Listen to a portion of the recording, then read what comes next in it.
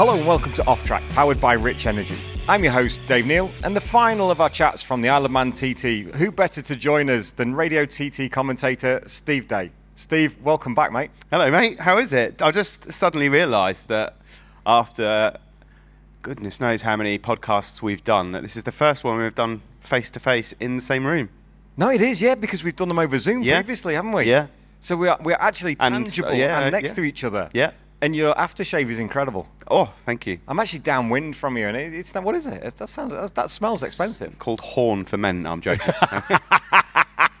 I want to see the packaging for that one. I don't actually know what it is. and mate, how's it been? Welcome to the TT. Mm. Your first experience, your first time working here. How's it been, mate? Yeah, it's been great. I mean, um, it's a bucket list stuff really to come to the TT. Um, I've always wanted to come as a spectator. Never imagined I'd be working on it. Obviously, today is a bit of a washout, um, which is why you've obviously decided to drag me in here for your final podcast. Um, but no, I've had a lot of fun. It's been emotional, but it's been great. It's been eye-opening.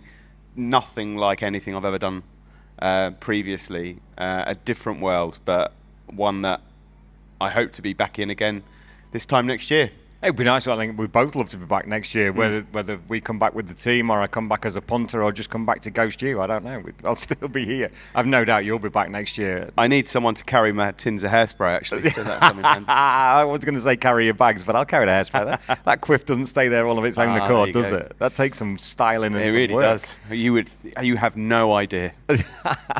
Mate, but this is the beauty of doing it face to face because on a on a Zoom podcast, you can't really tell what's going on on the other side. But if you do it face to face, I mean, that's, that's there's some height there, and we've got the TV cameras with us as well. So now you're on a video pod. That's yours over there. Look. Oh, okay. You, see, you're there. Ever the professional. Yeah, I know. That's the Yeah. best bit.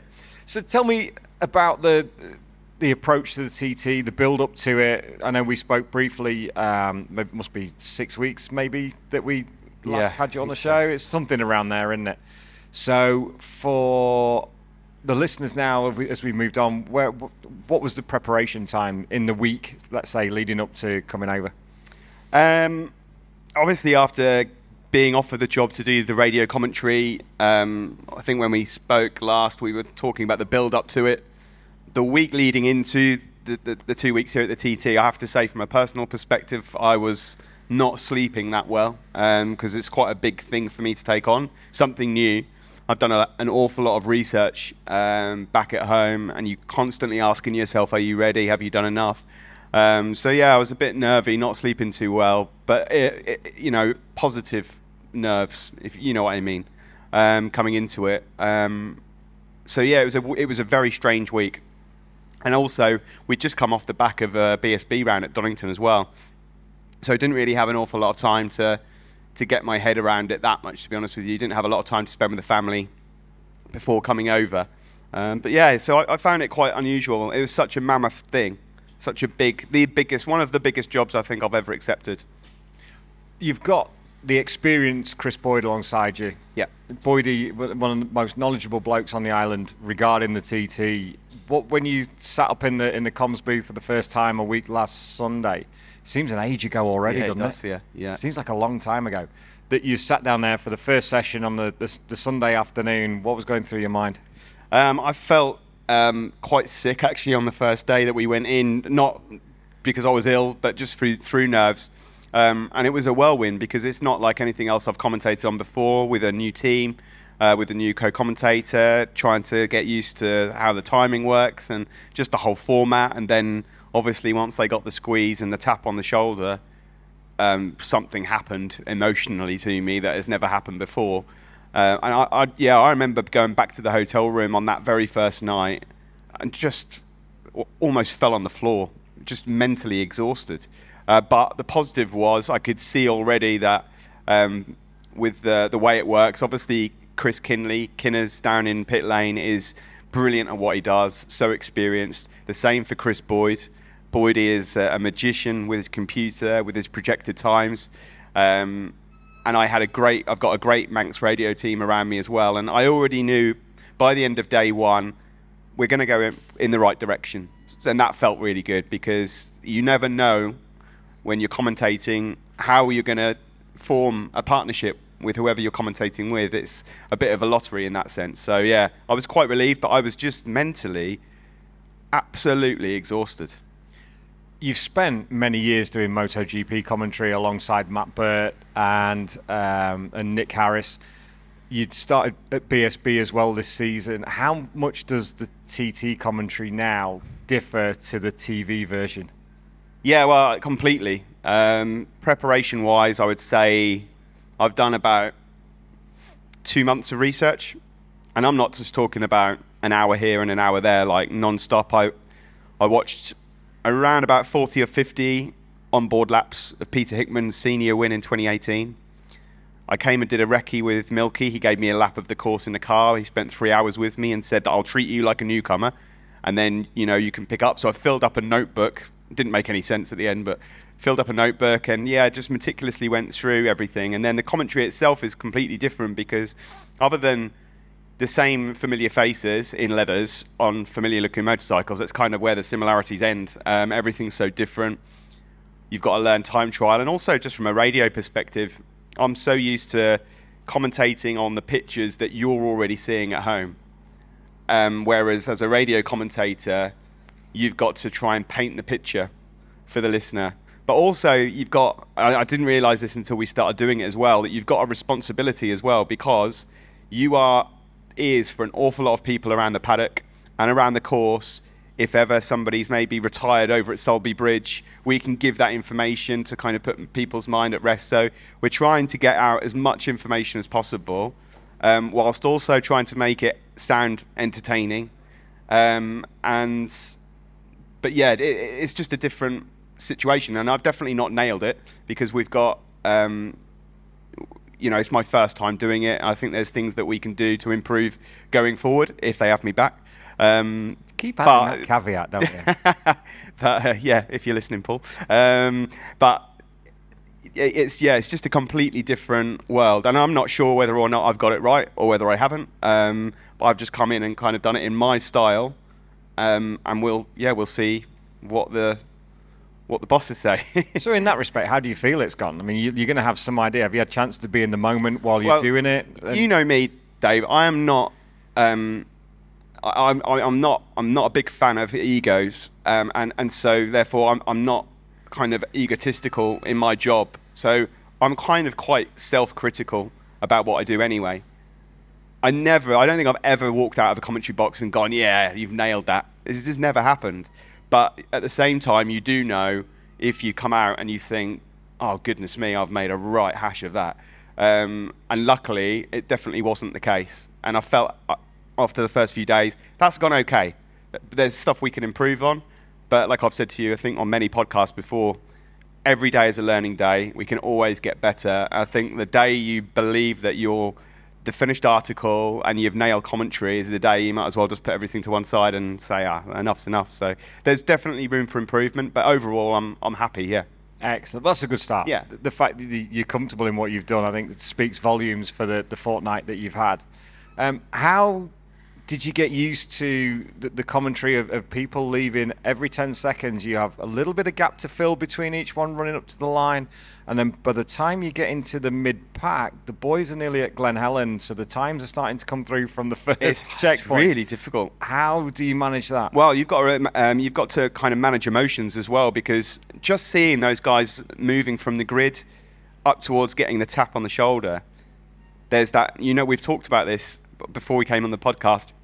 Last there's night, this, uh, last night. The yeah, there's this emotion you feel, and I know you've already spoken to Rob Hodson, and I know Rob, and I spoke to him, and he said it's a tap on the shoulder.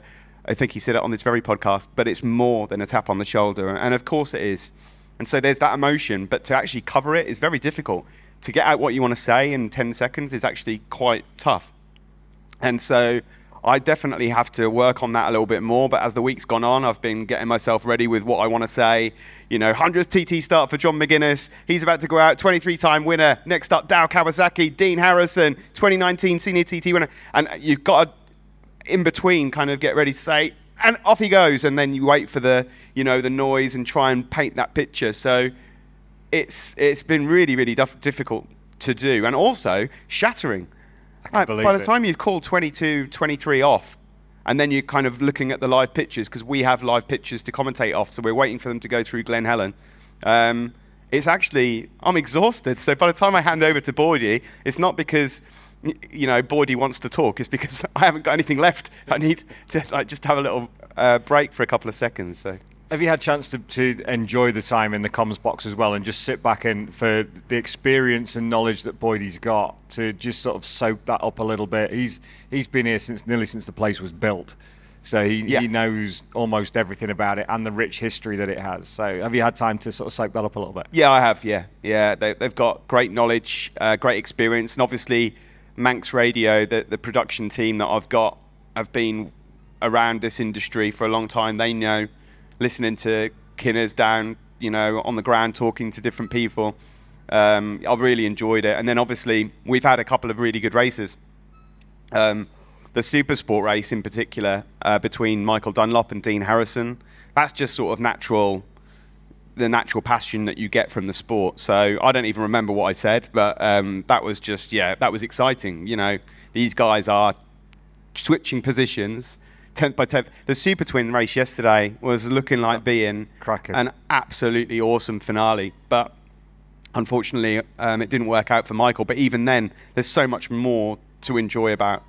You know the fact that Paul Jordan managed to get on the podium, and you know he was crying his eyes out. So it's, it's fantastic. So yeah, I've had a chance to enjoy it whilst I've done it.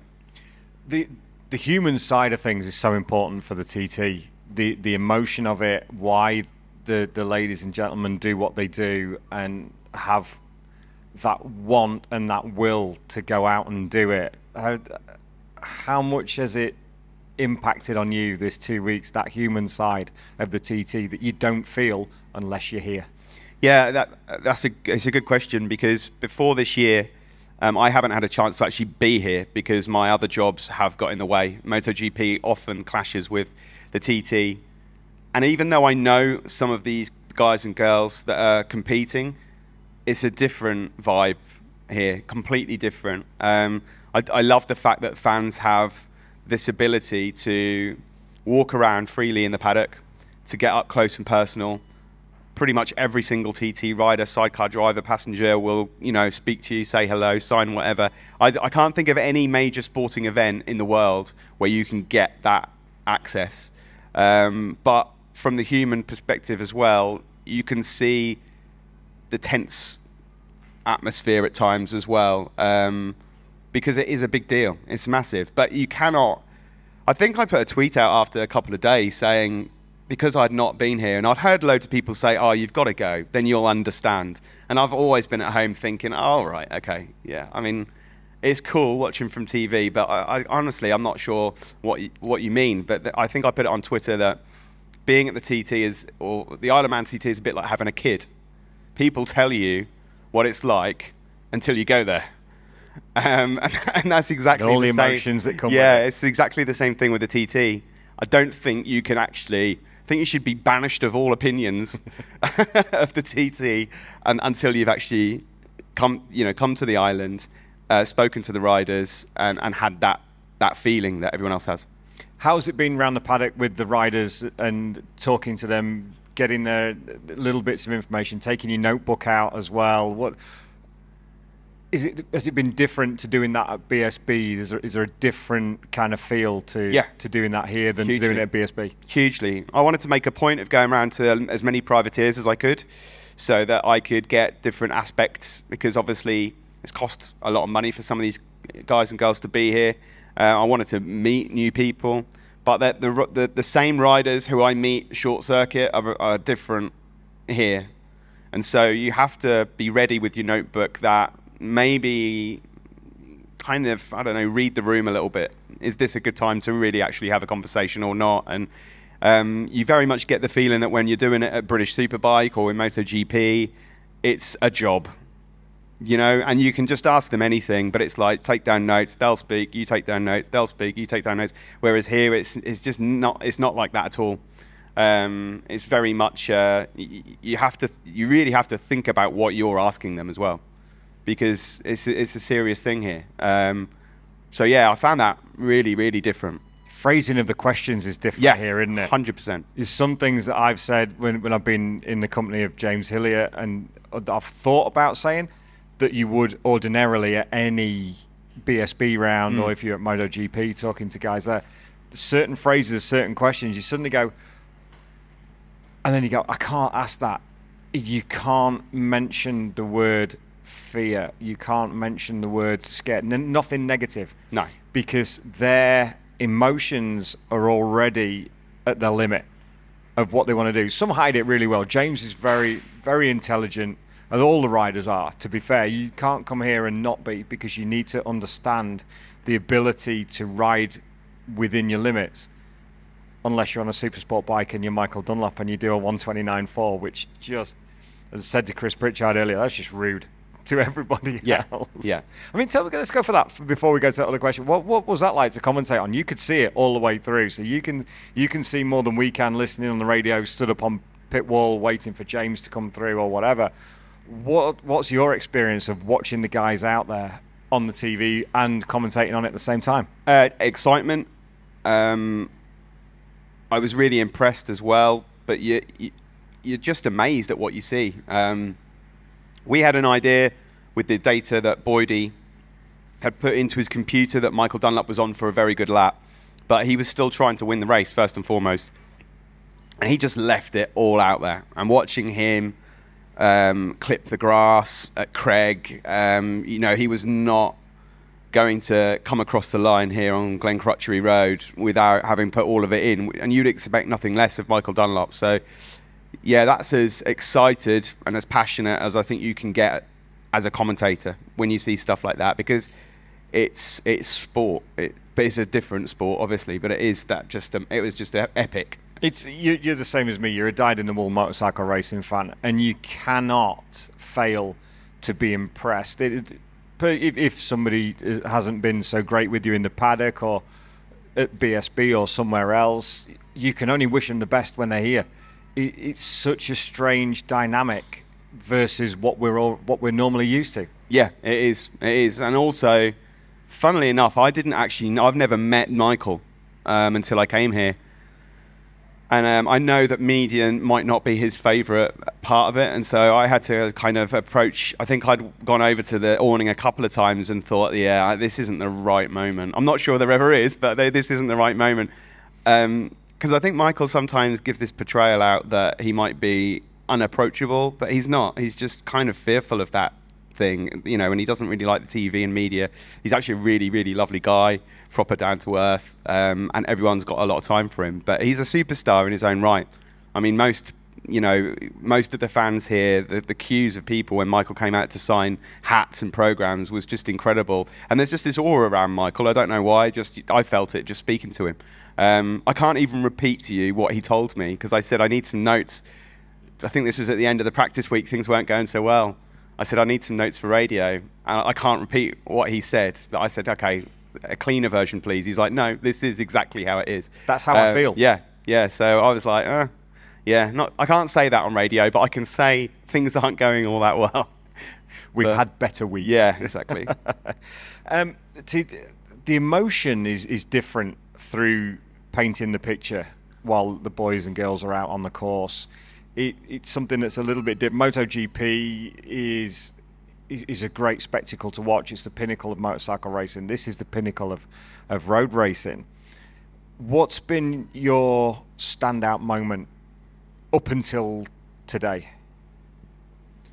Um, you mean in terms of uh, standout moment of commentary, or I um, think, that- well, generally, whether whether, Generally. whether it's some tra- um, action on track, something that you've seen, something I- that you felt in commentary. What's your for, standout for me moment? that it I go back to watching them um, move away from their teams, kiss their loved ones, handshake their team. That moment from there, and they go under the Monster Energy, um, whatever it's called, bridge or tower or whatever. I don't It's know. One of those. line. Yeah. Um, and then watching them just sort of move themselves closer to Mark Pendlebury. Um, remembered his name? Yeah, The yeah. We were calling him Tapman The at the Tap start of the week. Um, and yeah, just that, and it's not like a gentle hold on the shoulder either. It's a proper squeeze, which they'll feel, and they all say they do. And it's that tap, and it's I don't know that that that emotion. That's what's gonna you know stay with me. That is like nothing else I've ever experienced. You do not see that in any form of short circuit racing at all. Um, and so that is really even now just thinking about it, it's kind of making the hairs on the back of my neck stand up a bit. So yeah, that feeling, that's the closest I can honestly say from um, when I used to race short circuit racing back in the UK. I always wondered if I'd ever get even close to uh, an emotion of when the lights go out and you're on a grid and you're just going, what the bloody hell am I doing on a grid here? 40 of us about to charge into that first corner because everyone does it. And, um, and I've never ever got anything close to feelings, similar emotions to that.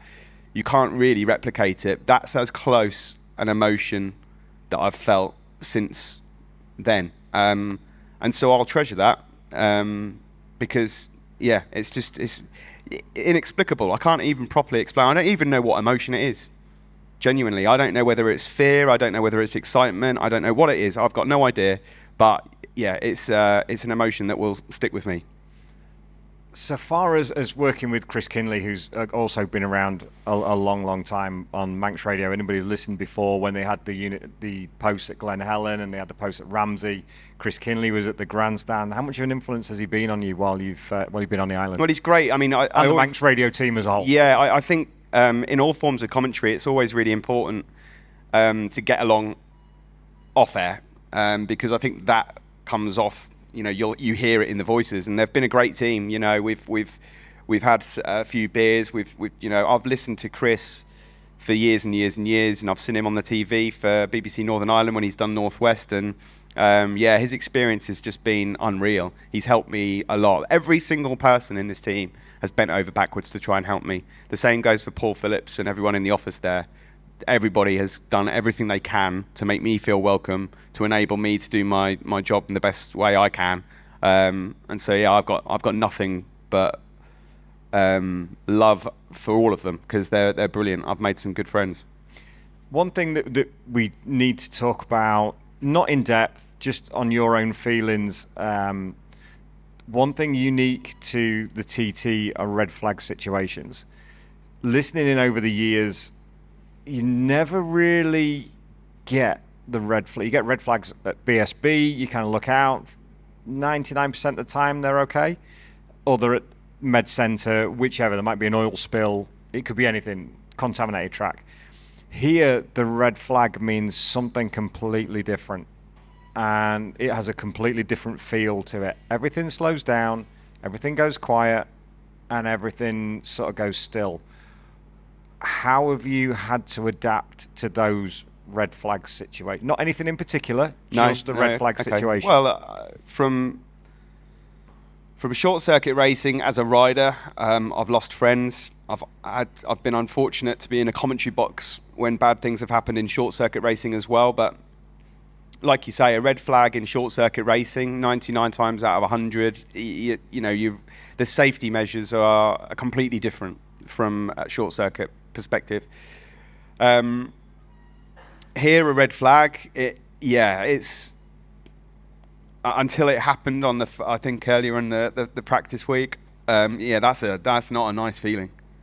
Um, lump in your throat, um, hoping everything's okay. Really different feeling to anything that you have to deal with.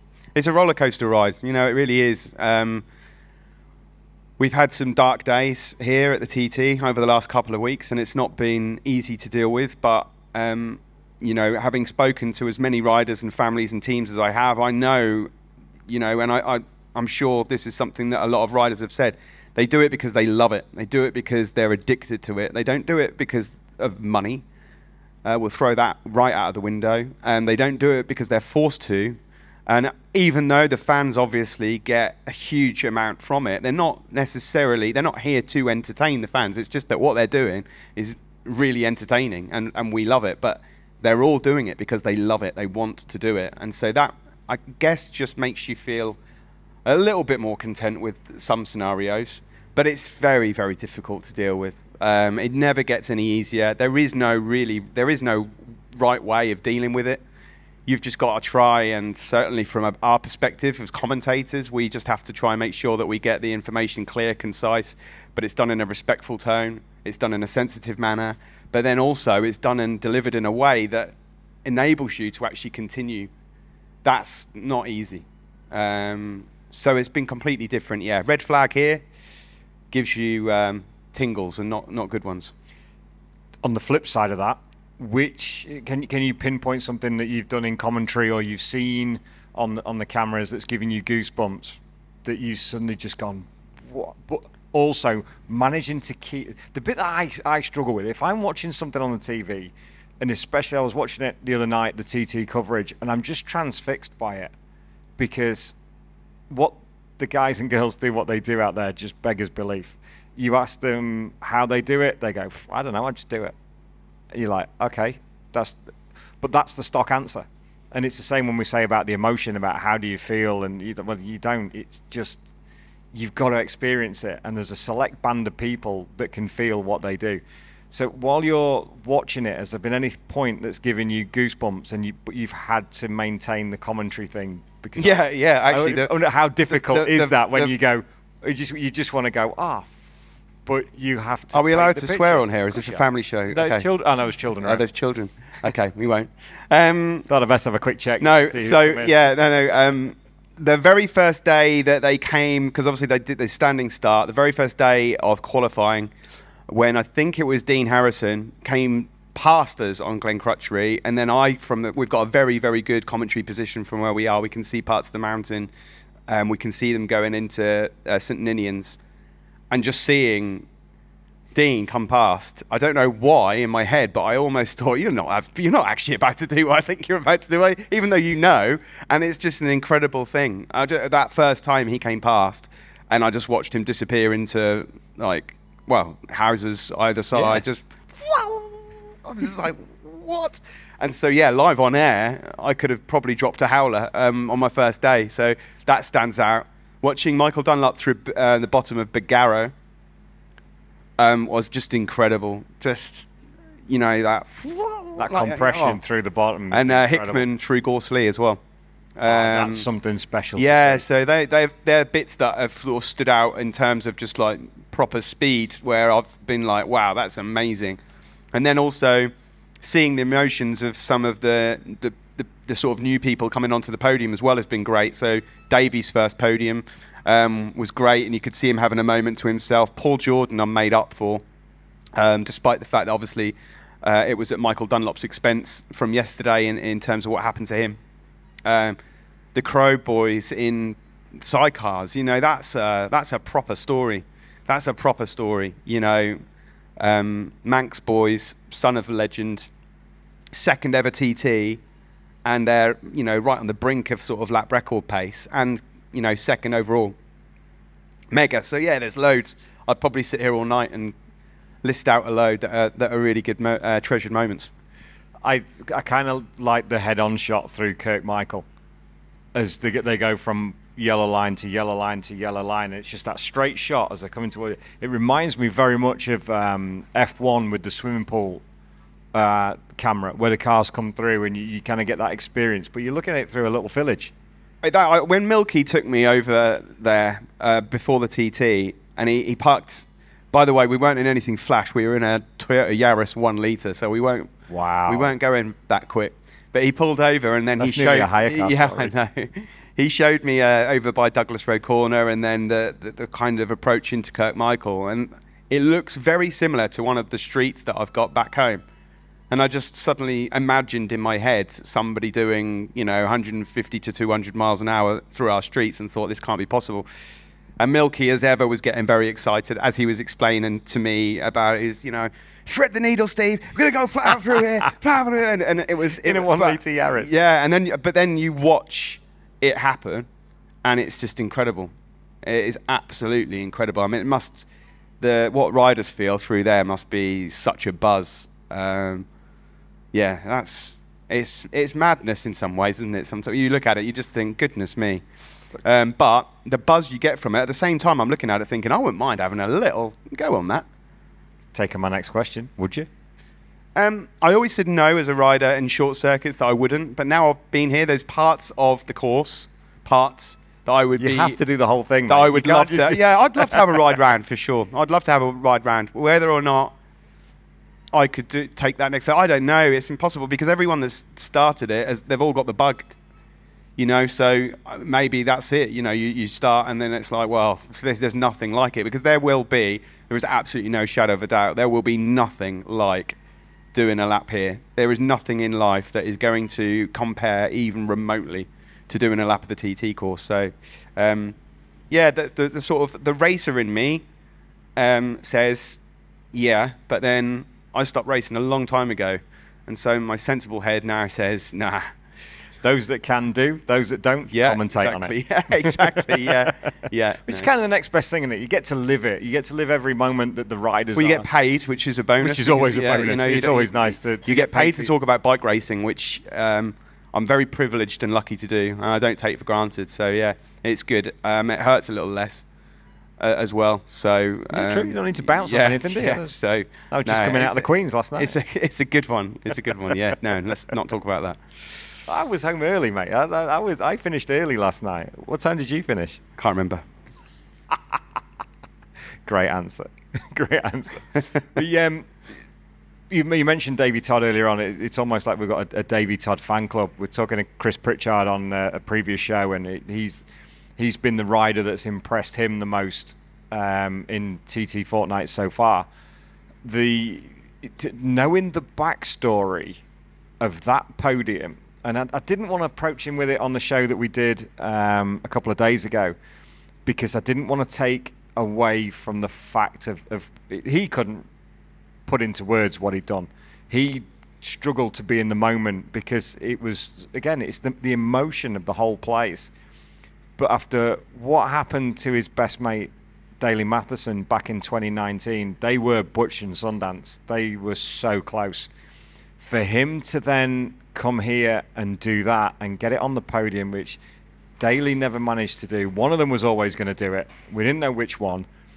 Daley won't ever get the chance, but to see Davey up there and knowing that backstory, it's that emotion again. It's there. it's Yeah, everywhere it you is. go. Yeah, it is. Um, that story is incredible, um, and you could see the emotion in Davey as well. I think there's been an awful lot of pressure on the shoulders of Davey coming into this TT um, because of how he had ridden in his second TT in 2019, and obviously uh, COVID stopped everything. Had we not had the pa- the break for COVID, we'd probably be talking about Davey Todd, multi-winner of a TT by now. But there's a lot of pressure on his shoulders coming into this because of what he's been doing at short circuit level, because of what he's done at the Northwest as well.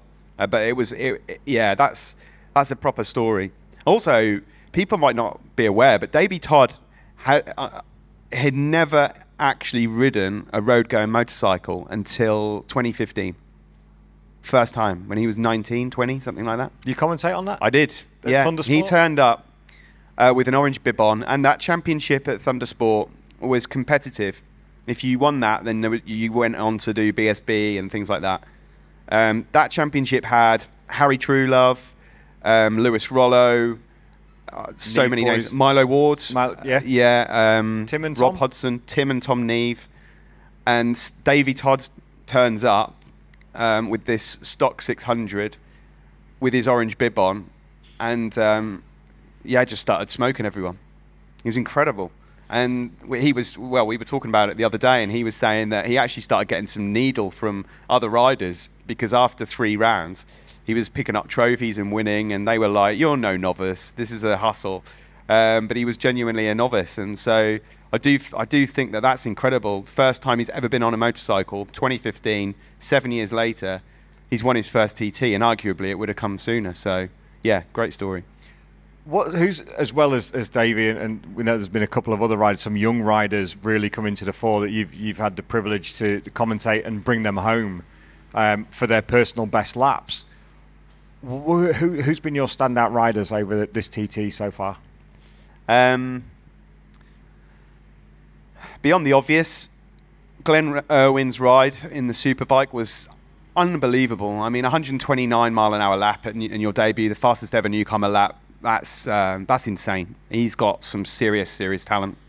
We knew that already Yeah. from Short Circuit and Northwest, but it's a different ball game. Um, so that was impressive. Um, a lot of the rookies actually did very well. James Hind, he's gonna he's, he's done a great job. Uh, he's going to be a, a big name uh, for years to come. Dean Harrison, um, sorry, not Dean, Nathan. Nathan. Um, Nathan again commentated on him as a Superteen. Believe it or not, he was started Superteen racing with um, Brad Perie and Zach Corduroy and the like. Um, so that's been great. He's gone fantastically well. Joe Loughlin, I think, has done a, a, a good job as well. The Irish lad. Um, Milo Ward, That's a story. brilliant. Yeah. Yeah, that is incredible. Um, Milo is just so infectious. He's got such an infectious personality as well. Um, that is that is amazing, and he is buzzing. I mean, he he told me, um, and I think I said this on radio. He told me that after his first lap, he came in and he'd lost his voice from screaming. And I said, "Oh, what? In, you know, in celebration?" He was like, "No, actually, on the lap." he said that he was going around parts of the course, just going woohoo. you know, that's and that's Milo. You so- wonder if that's happening in people's helmets, don't yeah, you? you do. I mean, that, I'm not sure we'd be able to air some of the stuff that said if we had a, you know, we could we could hear it, but it would be funny if you could hear Milo going around the whole course. Just he's that type of character. so- Howling his way around. Yeah, yeah. You you come from a Thundersport background. Your dad was a major part of Thun- uh, Thundersport GB. You started your commentary career there, so you, you know a lot of these riders coming through. So has that made your job a little bit easier here, or with the nature of what they do, does it make you sort of go, "Ooh, this is different"? Do you know what I mean? Because yeah. you know what comes with the TT. It's it's Yeah. a difficult place to come. It's it's got it's got different emotions for me. It's it's handy in terms of not having to do as much research on them because I already know them. But at the same time, I see some of them as my mates, and that then takes on a whole different meaning when you're at an Isle of Man TT races. So. Um, I feel like I've been going around sort of patting people on the shoulder a bit, and there's some young lads that I've commentated on since they were tiny, and um, I have, you know, I genuinely care for them. Um, so yeah, it's been different. When it comes to short circuit racing, it's easy because you know Chrissy Rouse, for example, I you know I can just go up to him and just say whatever I want at a short circuit event. But when it comes to roads, everything's different. But yeah, it's cool to to kind of come into a paddock and maybe only not know twenty percent. it's but it's a good learning curve, isn't it? Yeah. that's the thing. It, Yeah. it's, it's stretching you as a commentator as well. It's not just the same um, paddocks every time. You've done MotoGP. You've done, you know most of the guys in BSB. Um, and your World Superbikes as well. So this was the last bastion for Steve Day, commentator, to move into the world of motorcycle racing. Yeah, I, it was you know to have done MotoGP, World Superbike, BSB now, and the TT. I've kind of ticked off quite a few there. But I'm loving doing the BSB at the moment. It's a brilliant championship, like a fantastic championship. Um, so close, very well organised, um, great atmosphere. Again, everyone's quite approachable as well. So yeah, loving it. The weird thing is that, that I found being in the assembly area up at the top, as you say, if you're at BSB, you walk past someone who's on the way out to the grid, you go, oh, I might have a good one. Yeah. See you when you get back. Yeah. Here, when you see people in the assembly area or you're on your way to the comms booth and the lads are getting ready to walk up an hour before they go out, kind of thing, it's weird. It's just a wink and a thumbs up. It's the unsaid for this place. Yeah, it is Yeah. Because there's nothing you can say. no, no, it's the weirdest thing. There's so much can be said by saying nothing, which is weird on a Yeah. podcast. Yeah, yeah, yeah, you're right. You're absolutely right. And I've had to uh, fiddle my way through that a little bit over the couple of weeks as well, because I think because I came from a short circuit orientated, you know, I went, I came into it with that approach. Quickly realised this isn't the right approach. Um, and yeah, like you say, just uh, you know, Is all it needs. Yeah, a little thumbs up. Yeah. Um, who's going to win the senior tomorrow? I think if everything goes to plan, Peter Hickman will be very difficult to stop. Um, I, I look at him on the bike, he's in so much control, and I feel like he's got more in the tank if he needs it. Uh, he does what he he does what he needs to win and nothing more because there's just no point in in taking any more risks because it's already risky enough as it is. But he looks just that little bit more in control. There are certain points around the course where he's just so much stronger than everyone else. So I think on paper he has to start as as a as sort of the bookie's favourite. nothing pointed at the organisers. It, it is what it is because of the delays that we have um, yesterday and today as it's tipping down outside. To be fair, we're, we're like 150 yards away from the grandstand and, and from the main tower, and we can barely see it. it uh, the rain and the mist has come in. Um, are you a little bit disappointed that the seniors only four laps?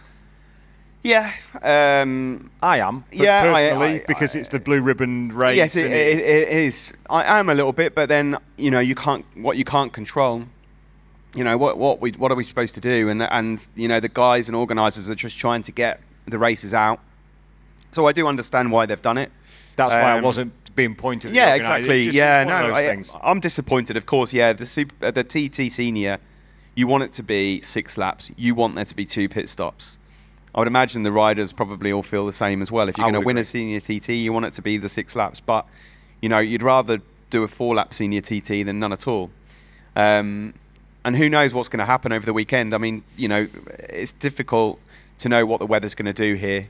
It could be sunny here um, in Douglas Bay. It could be tipping down in the mountain. So we'll see how we get on. We've obviously got that Saturday as a contingency as well. You never know. We might end up having you know a six lap senior on Saturday. That's going to be a dash for the boat. Yeah. Well, yeah, it would be. Yeah. um, but I don't know. Um, yeah, a bit disappointed because I'd love to see a six lapper, but equally, um, I, am not going to lose any sleep over it. No. Yeah. Something's better than nothing. yeah, 100. percent yeah. Um, moving on to the weekend after, we continue the the the, uh, the, steamroller continues, mate. We're off to Knockhill. What are you what are your thoughts on? Well, Look, I'm looking forward to heading north of Hadrian's Wall. I've not been to Knockhill since 2003, so uh, it'll be my first visit there. Yeah, we can't then. discuss the reasons why you haven't been back since 2003. Um, but it's going to be a bit unusual, especially the weekend after, having yeah. commentated on uh, a TT where everything is just so different, and you've got plenty of time to talk about uh, certain subjects 37 and three quarter miles, replace that with a, a, a, circuit that's not that much past 37 seconds, um, is going to be odd. So I'm going to have to be a bit quicker with my words, I think, when we get there. But I'm looking forward to it. Um, the BSB is starting to take shape in terms of the championship at the moment, and there's you know, there's this real feeling this year as well that there's new kids on the block, um, which is exciting and there's lots of narratives and stories going into it. So, you know what? In a way, it's probably a good thing that we go there straight away, because you know I've heard about these TTU blues when you leave, and you know you want to go back and stuff like that. Whereas, you know, I'm going to get home. Um, my wife is probably going to promptly pass me my son and say you can deal with him now for a couple of days, and then we're off to Knockhill. So yeah the the championships it, it is starting to unfold in it. The young guns are incredible. The pace is so hot this mm. year, um, with Brad Ray, Kyle Ryde, um, Lee Bob Jackson, and Rory Skinner. Rory Skinner hat trick. No, I'm not going to say that. I mean, I'm not. I'm not. I have nothing against Rory. Get along with him really, really well. He may well be the favourite because he did so well there last year on the FS3 Kawasaki, but other riders have taken massive leaps forward since then. You know, we all know how strong Danny Buchan is there. Um, you know, the two, uh, the, the, your two boys, you know, the Rich Energy, OMG Racing riders, uh, Brad and Kyle, they're going to be there every single weekend. They're stronger. The Yamaha's great. O'Halloran had a confidence boosting result. That was an incredible weekend yeah, for, um, for, Jason at Donington. So yeah, and, and, and Lee himself, honestly, Lee, the the confidence that he will have taken from not just the win at Oulton, but really solid performances at Donington as well. That's a different rider right and now. it's about time. We were talking to him last night, weren't we, with um, with Gary and Uncle Lee, of how Lee Bob's progressed this season, and he's taken that leap forward with the Kawasaki, yeah. and he's now the rider we all knew he was capable yeah, exactly, of being. Yeah, yeah, no, he's always had it. It's just about you know getting it out there, and I do think that there's been a sense of relief that you know the monkeys off the back now with that victory. Um, I really, I've got a lot of time for both Lee and Rory. They're they're fantastic talents. Um, you know, I'm not 100% sure. At the start of the season, I was convinced that they'd be able to fight for the championship. I thought they'd be there every now and again, but I might have to retract that. Um, they're going to be there the whole year. There's no doubt. So it's going to be exciting. But no, I can't call it. I, I, I won't call it at all. I don't think it's. I don't think it's odds on. I think a lot of people think that because Rory's from Scotland as well, that it's just sort of nailed on. And yeah, he's run a few laps at Knockhill, but it's the competition is going to be pretty hot. Three rounds into BSB from a commentary point of view. How are you find it? Do you feel that it's your commentary now? No, not yet. I, I don't think that. Um, I love working with those guys and girls. I've worked with them before. Um, uh, so I know them, which has been really handy. Socially, they're a fantastic bunch. Uh, we get along really well on air, off air. There's a lot of Mickey taking, um, but I don't f- quite feel like it's at home yet. Okay. Three rounds, we I feel like I'm getting there, but three rounds just isn't quite enough yet to just kind of feel comfortable. Um, I'm loving it. It's great. Obviously, working with James Whitham, Hayden, Shaky, Matt, Rachel. Um, you know, it, it's fantastic. My old buddy Greg Haynes, of course, as well. Um, so it's good, but yeah, not quite what I would say firing on all cylinders yet. And that's not from me not doing my job. That's just from a, there's a couple of things I want to do just to take it to that next level the difficulty on the flip side of that is you now need to wait 12 months after tomorrow to come and do this. Yeah, again. I know. It's like the lap, isn't it? You wait 37 miles for them to come all the way around again. If they have to make a mistake on circuit, they go all the way around. You now have to wait 50 weeks before you get to do this again. Yeah, but I, I mean, yeah. I listen. We'll we'll probably speak again later in the year, and I'll have the TT Blues. Um, it's going to be weird because it is a long couple of weeks. It's really intense, but it's been thoroughly enjoyable. Um, and so, yeah, I don't know how I'm going to feel actually, but I'm sure I'll be missing it. That's for sure. But ha, you know, i am lucky. I've got BSB.